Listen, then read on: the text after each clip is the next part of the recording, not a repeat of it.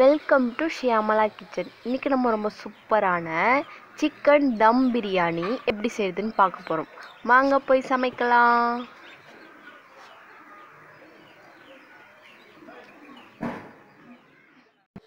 அடுப்பை பற்ற வச்சு அதுக்கு மேலே ஒரு டபரா செட்டு வச்சுக்கோங்க. தாராளமாக எண்ணெய் ஊற்றிக்கோங்க எண்ணெய் நல்லா சூடாகட்டும். பிரியாணி இலை பட்டை ஒரு ஆறு ஏழு போல் ரெண்டு பீஸ் எடுத்து நல்லா கலக்கி விட்டுக்கோங்க. வதக்குங்க நல்லா. அது கூடவே நம்ம ஒரு நாலஞ்சு ஏலக்காய் போல் நம்ம தட்டி வச்சுக்கலாம். இதில் சேர்த்துக்கலாங்க. தட்டி வச்சுருக்க ஏலக்காயை. நல்ல மணமாக இருக்கும் ஏலக்காய் சேர்க்கும்போது. ஏலக்காய் வச்சு தட்டி தான் சேர்க்கணும். ஒரு பத்து பச்சை மிளகாய் சேர்த்துக்கிறேங்க.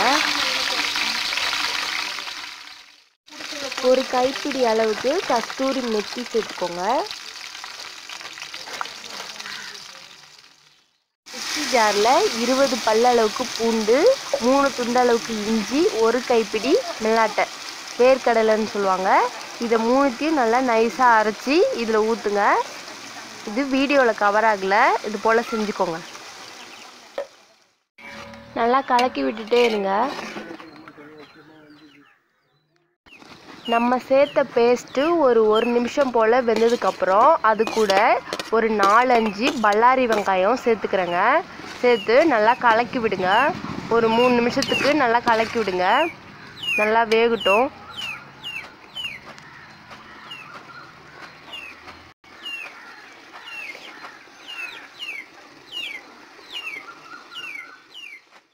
ஒரு மூணு நிமிஷத்துக்கு வெங்காயம் நம்மளுக்கு வெந்துடுச்சு அது கூட ஒரு மூணு பழுத்த தக்காளியை சேர்த்து நல்லா வதக்கிக்கோங்க. ஒரு ரெண்டு கைப்பிடி அளவுக்கு புதினா கொத்தமல்லி ரெண்டுத்தையும் சின்ன சின்னதாக கட் பண்ணி வச்சுக்கோங்க. இதுக்குள்ளே சேர்த்து நல்லா வதக்கிக்கோங்க. புதினாவும் கொத்தமல்லியும் சேர்க்கும் போது நல்ல ஃப்ளேவர் கொடுக்கும். பிரியாணினாலே சூப்பராக இருக்கும். அது மாதிரி சேர்க்கும்போது நல்லா வதக்கிக்கோங்க. இதில் நம்ம வந்துட்டு வேர்க்கடலை சேர்த்துருக்கிறதுனால அடி பிடிக்கிறதுக்கு வாய்ப்பு இருக்குது அதனால் நல்லா கலக்கி விட்டுட்டே இருங்க.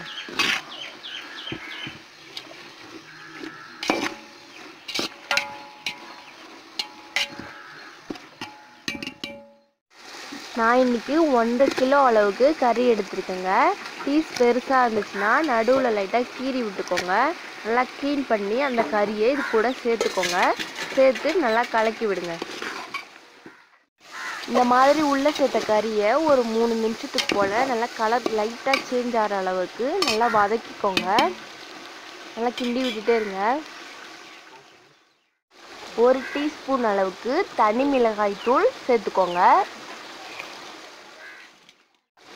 ஒரு மூணு டீஸ்பூன் அளவுக்கு குழம்பு மிளகாய் தூள் சேர்த்துக்கிறேங்க. நீங்கள் வந்துட்டு காரம் விருப்பப்பட்டால் நீங்கள் ஒரு மூணு நாலு டீஸ்பூன் அளவுக்கு காரப்பொடியுமே சேர்த்துக்கலாம். குழம்பு மிளகாய் தூள் சேர்த்து ஒரு முறை நல்லா கலக்கி விட்டுக்கோங்க. உங்களுக்கு காரம் அதிகமாக வேணும்னா நீங்கள் நான் போட்டிருக்கிறதுக்கு மிளகாய் தூளுக்கு பதிலாக நீங்கள் காரப்பொடி சேர்த்துக்கலாங்க. எனக்கு வந்து காரம் கொஞ்சம் கம்மியாக வேணுங்கிறதுனால மட்டும்தான் நான் க குழம்பு மிளகாய் தூள் சேர்த்துருக்கேன். மற்றபடி நீங்கள் காரப்பொடி சேர்த்துக்கலாம். மற்றபடி வேறு எந்த ஒரு மசாலாவும் நான் சேர்க்கலைங்க. இதுவே போதுமான அளவாக இருக்கும். சுவை அதிகமாக இருக்கும். இப்போது எட்டு கிளாஸ் அளவுக்கு நான் தண்ணி ஊற்றுறேன் நாலு கிளாஸ் பாஸ்மதி ரைஸ்க்கு.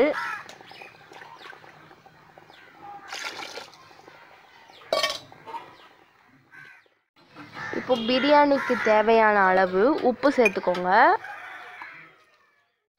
இது கூடவே ஒரு கப் அளவுக்கு தயிர் நான் சேர்த்துக்கிறேங்க. இரநூத்தி ஐம்பது எம்எல் இருக்குங்க.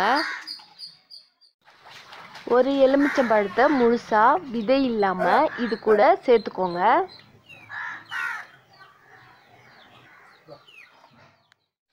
தயிர் லெமன் சேர்த்து நல்லா கலக்கி விட்டுக்கோங்க. இப்போவே உப்பு இருக்கான்னு பார்த்துக்கோங்க இப்போ நம்ம வச்சுருக்க கிரேவி நம்மளுக்கு நல்லா கொதி வந்துடுச்சுங்க இந்த நேரத்தில் நம்ம எடுத்து வச்சுருக்க பாஸ்மதி அரிசியை உள்ளே சேர்த்துக்கலாங்க. பாஸ்மதி அரிசி ஒன்றரை கிலோ எடுத்திருக்கேன். அதாவது நாலு கிளாஸ் நாலு கிளாஸ் அரிசிக்கு எட்டு கிளாஸ் தண்ணி போதுமான அளவாக இருக்குங்க. அரிசியை உள்ளே சேர்த்தாச்சுங்க. ஈர ஈரம் இல்லாமல் நல்லா சேர்த்துக்கோங்க. அரை மணி நேரத்துக்கு முன்னாடியே அரிசியை ஊற வச்சுக்கோங்க. ஒன்றரை கிலோ கறி ஒன்றரை கிலோ அரிசி ரெண்டுமே சரிசமமாக இருக்குங்க நம்மளுக்கு. இப்போது நம்ம ஒரு முறை கலக்கி விட்டுக்கலாம். ரொம்ப வேகமாக கலக்கக்கூடாது. அரிசி உடையிறதுக்கு வாய்ப்பு இருக்குது பொறுமையாக கலக்கி விட்டுக்கோங்க.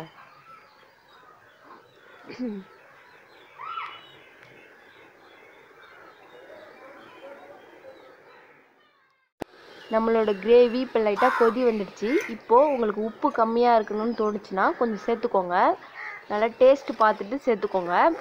நல்லா கலக்கி விட்டுக்கோங்க. ஒரு பதினஞ்சு நிமிஷம் அளவுக்கு நம்ம இதை ஒரு மூடி போட்டு மூடி வைக்க போகிறோங்க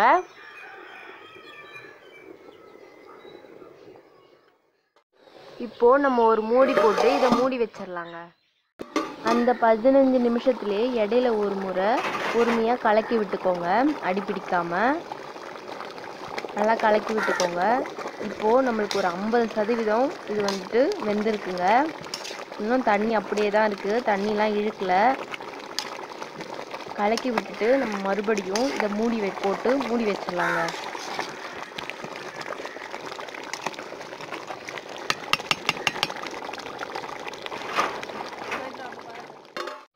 இப்போது நம்மளுக்கு பதினஞ்சு நிமிஷம் ஆயிடுச்சுங்க.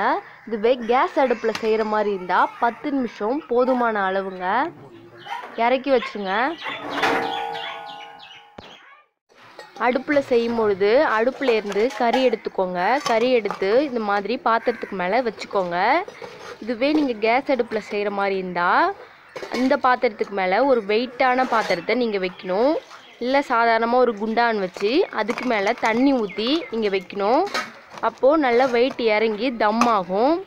இதை ஒரு அரை மணி நேரம் அளவுக்கு நம்ம வைக்கணுங்க. அப்போ தான் தம் நல்லா அடியில் போய் ஆகும்.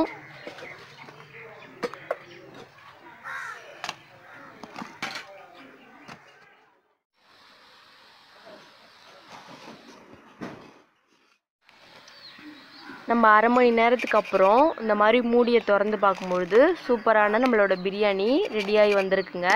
இதிலே நீங்கள் நெய் கொஞ்சம் ஊற்றுனாலும் ஊற்றிக்கலாங்க நெய்யை காய்ச்சி இதுக்கு மேலே நீங்கள் சேர்த்துக்கோங்க. சேர்த்து ஒரு முறை கலக்கி விட்டுக்கோங்க. நம்ம வச்சுருக்க சாதம் உடையாத அளவுக்கு ஏன்னா இது நீட் நீட்டான பிரியாணி அரிசி. இது உடையாத அளவுக்கு பொறுமையாக நீங்கள் வந்துட்டு கலக்கி விடணும். அந்த கிரேவி வந்து எல்லா இடத்துலையும் நல்லா செட் ஆகுற மாதிரி ஒரு முறை கலக்கி விட்டுக்கோங்க.